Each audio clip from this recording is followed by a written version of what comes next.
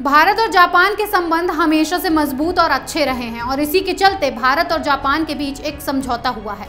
भारत और जापान में एक मेमोरेंडम ऑफ़ कॉरपोरेशन साइन हुआ है, जिसके तहत अब भारत के 14 श्रेणी के कामगारों को जापान में रोज़गार के मौके मिलेंगे। इस रिपोर्ट में देखिए।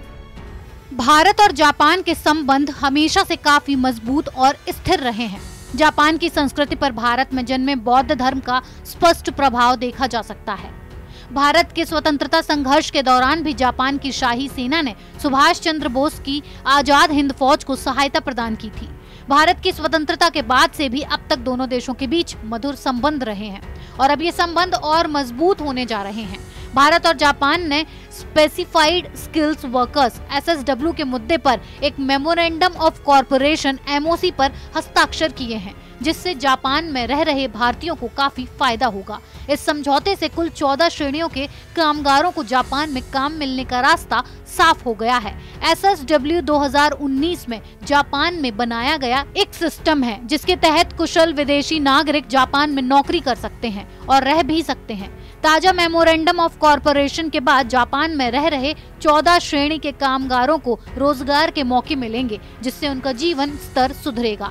एमओसी पर भारत के विदेश सचिव हर्ष श्रृंगला और भारत में जापान के राजदूत भारत सुजुकी सातोशी ने हस्ताक्षर किए। इस संधि पर हस्ताक्षर के साथ जापान में भारतीय नागरिकों के लिए रोज़गार के और मौके मिलेंगे। जिन चौदह श्रेणियों के मेमोरेंडम ऑफ़ कॉरपोरेशन पर साइन किए गए हैं, उनमें बिल्डिंग सफ़ाई, मशीन निर्माण निर्माण कार्य, ऑटोमोबाइल मेंटेनेंस, एविएशन, कृषि, मछली पालन और खाद्य सामग्री से जुड़े काम शामिल हैं।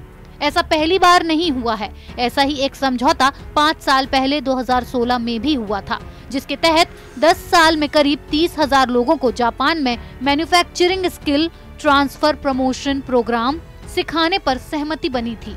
2017 में टेक्निकल इंटर्न ट्रेनिंग प्रोग्राम पर दोनों देशों ने समझौता किया और अब तक इस समझौते के तहत 200 भारतीयों को जापान में काम सीखने के बाद रोज़गार मिल चुका है।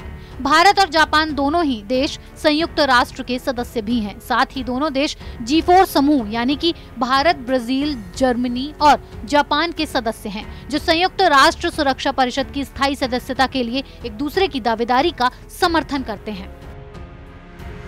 भारत और जापान के इस समझौते से भारतीय विदेशी नागरिकों को काफ़ी फ़ायदा होगा और उनको कई क्षेत्रों में रोज़गार के अवसर मिल सकेंगे। साथ ही साथ, इस समझौते से जापान और भारत के रिश्तों में और घनिष्ठता और मजबूती आएगी, जो कि दोनों देशों के लिए एक बेहतर कदम है।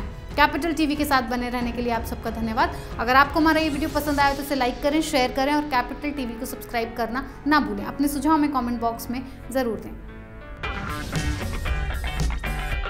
अगर आपको हमारा वीडियो पसंद आया हो तो इसे लाइक करें, हमारे चैनल को सब्सक्राइब करें, और हाँ बेल आइकन दबाना ना भूलें, ताकि आप तक हमारे वीडियो की नोटिफिकेशन पहुँचती रहे।